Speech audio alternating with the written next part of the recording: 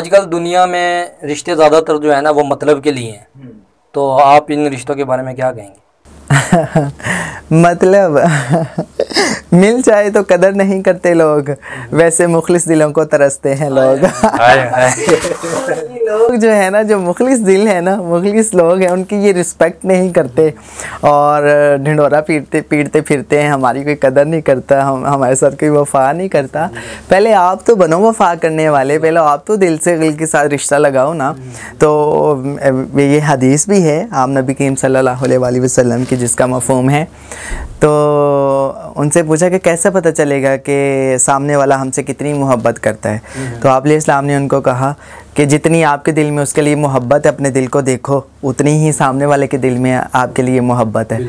तो अगर आपने किसी के साथ रिश्ता बनाया है तो फिर आप देखें आपके दिल में उसके लिए कितनी चाहत है, कितनी मोहब्बत है। फिर उसके दिल में, सामने वाले के दिल में भी उतनी ही मोहब्बत होगी। अच्छा बहुत से फैंस आपको मिलते हैं, जहरी बात है। तो अक्सर फ़ैन जो ऐसे हैं, वो मौके पे तंग बहुत करते हैं।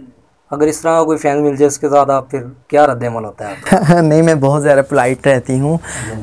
जो। कुछ भी हो तो एक आधा निकल आता है ना तंग करने वाला? नहीं तंग करने वाले बहुत होते हैं लेकिन वो उनकी मोहब्बत होती है ना। आ, तो उस पर हम ऐसा रद्द अमल तो नहीं दे सकते गुस्से वाला या कोई अग्रेसिव तो मैं पोलाइट ही रहती हूँ और उनकी मोहब्बत है और आपसे मोहब्बत करने वाले आपका सरमाया होते हैं। हम्म। तो वो मेरा सरमाया है मुझे अच्छा लगता है और जितना कोई तड़प से मिलता है जितनी कोई मोहब्बत से मिलता है तंग करता है वो अच्छा लगता है।